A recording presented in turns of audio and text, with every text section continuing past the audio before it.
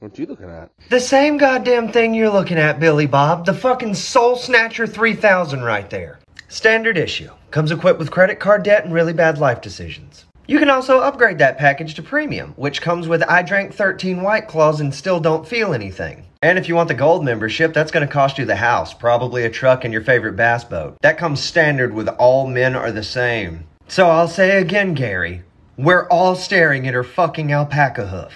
That is all.